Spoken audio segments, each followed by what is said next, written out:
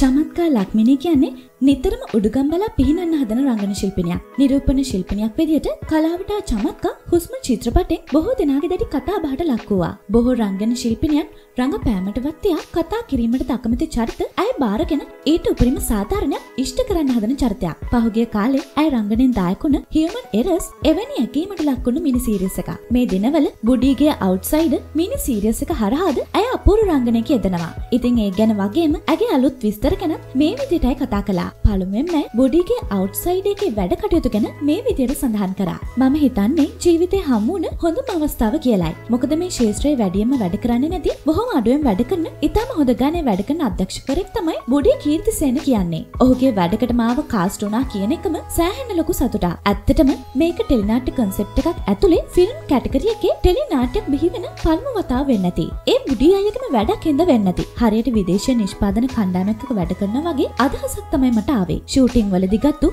ඒ අත්දැකීම ටීවී එකේ YouTube එකේ බලද්දි මම ඒක හොඳින් විඳිනවා. ඇත්තටම මට ගොඩක් වෙලාවට මම හිතනවට වඩා වෙනස් චරිත තමයි හම්බුනේ. කවදාවත් මං හිතුවේ නෑ මට රෙද්දයි හැට්ටේ ඇඳගෙන වැඩ කරන්න පුළුවන් වෙයි කියලා. මොකද මට ලැබුණ චරිතත් එක්ක. හැබැයි බුඩි අයගේ වැඩ ඇතුලේ මම චරිත දෙකක් රඟපානවා. මම හිතුවේ නැහැ මම ආපහු මේ කෙටි කාලය තුල මේ වගේ වෙරයිටිස් චරිත කරන්න හම්බ වෙයි කියලා. මොකද හුස්මෙන් පස්සේ මට ආපු ගොඩක් වැඩ සාරාගේ දර්ශන තිබෙන නිර්මාණයි. හුස්ම නිසා චමත්කා සාරාගේ නිලියගේ චරිතයට කොටු වුණාද? මම එහෙම හිතන්නේ නැහැ. මම හිතනවා මම එක කඩා ගත්තා කියලා. මොකද අනෙක් රංගන ශිල්පීන්ට වැඩිය මගේ එක කන්ට්‍රෝල්. මොකද මට අවශ්‍ය නැහැ එකම කැටගරි එකකට කොටු වෙලා ඉන්න. ඇත්තටම සාරාගේ නිලිය කියන තැනට කොටු වෙන්න මං සූදානම් නැහැ. මම කැමති මම මැරෙන මොහොතේ චරිතාංග නිලියක් වෙන්නයි. චමත්කා කියන්නේ බය නැති ලිනියක්. ඒක එහෙමද ඕ මම බය නැහැ. ඇත්තටම බය කියන්නේ මම පිටපතකට බය නැහැ. සැබෑ ජීවිතේ චරිතයට ඇත්තටම බයයි. පුද්ගලික ජීවිතේ මම එළිය කතා කරන්නේ නැහැ. මම ඒකට බයයි. මගේ ඇතුළේ චරිතය ඝාතනය කරන්න මම කොහෙත්ම කැමති නැහැ. ඔබ පුද්ගලික ජීවිතේ ප්‍රසිද්ධිය කතා කරන්නේ නැත්තේ ඇයි? මෑත කාලේදී කතා කළ යුතුම කොටසක් මම කතා කළා. රටේ මිනිස්සුන්ට වැදගත් වෙයි කියලා හිතන පැත්තක් විතරයි මම හිදිත් කතා කළේ. මම ආස නැහැ මගේ වෘත්තීය ජීවිතයයි පුද්ගලික ජීවිතය පටලව ගන්න. වෙනස් පිටපතක් ලියුණු ගමන් ඒකෙන චමත්කතට නේද? ඔව් මෑතකදී එහෙම එකක් තියෙනවා. හැබැයි එහෙම එන හැම වැඩේම මම බාර ගන්නෙත් නැහැ. මොකද ඒ පිටපත මට දැනෙන්න ඕනේ. පුද්ගලික ජීවිතයට අප ප්‍රශ්න නිසාද තිරේ ඉන්න ගැහණියකට සාධාරණ ඉෂ්ට කරන්න හදන්නේ? එහෙම එකක් නැහැ. ගැහණියකට විතරක් නෙවෙයි. පිරිමියාට සාධාරණයක් ඉෂ්ට කරන්න මම බලනවා. මොකද මම මේ දෙක ගැනම වෙනම හිතන කෙනෙක්. මගේ ගෙදර ඇතුලේ ඒ නීතිය කවදාවත් නැහැ. මම කාන්තාවක් හින්දා වෙන්න ඇති කාන්තාවකගේ චරිතය කරන්න හම්බ වුණේ. පිරිමි ගැහණු කියන අය තැන් දෙකක තියලා මනින කෙනෙක් නෙවෙයි මා. හුස්ම ඔබේ ජීවිතේ ලොකු පිටුවක් පෙරළුව නේද? ඔව් ඇත්තටම හුස්ම තමයි මගේ ටර්නින් පොයින්ට් එක වෙන්නේ. මම මේ කතාව කොහෙදිත් කවදත් කියනවා. ඒක මම මැරෙනකම්ම කියයි. ලිංගික දර්ශන රඟපාන්න එපා කියලා සැමියා කියන්නේ නැද්ද?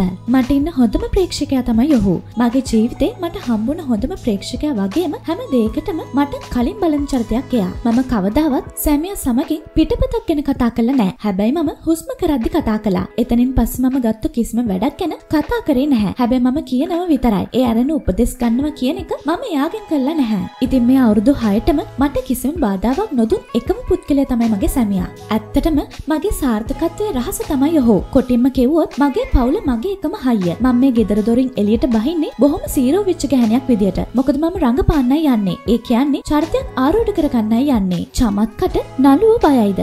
මම මෙච්චර කල් වැඩ කරපු කට්ටිය දන්නවා චමත්ක කියන්නේ හරි විවෘත කෙනෙක් කියලා. කෙලින්ම මූණට කියනවා කියලා දන්නවා. ඇත්තටම මට ඒ විදිහේ සෙට් එක ඇතුලේ ප්‍රශ්න නැහැ. ජීවිතය ගැන ආපහු හැරලා බැලුවොත් මොකද හිතන්නේ? මට තාම අවුරුදු 25යි. මේ 25 මම සෑහෙන දේවල් ළඟා කරගෙන තියෙනවා. මොකද මම කිසිම දෙයක් නැතිව රුපියලෙන් ජීවිතේ පටන් ගත්ත ගැහණියක්. අඩුම තරමේ ගෙයක්වත් තිබ්බ නැහැ. ඒ සියල්ලටම හරියන්න මට සෑහෙන යාළු පිරිසක් ඉන්නවා. ඒගොල්ලොත් එක්ක බලද්දි මගේ ජීවිතයේ අතීතය ගැන හැරිලා බලද්දි බොහොම කටුක ජීවිතයක් ගෙවලා තියෙන්නේ. හැබැයි මට ඒ ගැන කවදාවත් පසුතැවීමක් නැහැ. මොකද මම ගොඩක් දේවල් ළඟා කරගෙන ඉවරයි. නමුත් කලකිරීම නම් තියෙනවා. නමුත් කලකිරීම කියන දේවල් ගැන හිත හිත 24 පෑයම කල්පනා කළොත් අපි පීඩාවට පත් වෙනවා. මම එහෙම අවස්ථා අත්විඳලා තියෙනවා. හැබැයි දැන් පුංචි හරි දුකක් ආවොත් කාමරයට ඇවිත් අඬලා හරි ඒක ඉවර කළා පල්ලෙහාට බයිනවා. අවුරුදු 25ට මේ ආපු ගමන ගැන අම්මා මොනවද කියන්නේ? අම්මා සමහර තැන්වලදී අදටත් මාව තේරුම් ගත්තු නැති චරිතයක් විදියට පේනවා. සමහර තැන්වලදී ඉතාමත් හොඳින් මාව තේරුම් ගත්තු චරිතයක්. හැබැයි පවුල කියන තැනදී මට ඉඳලා තියෙන්නේ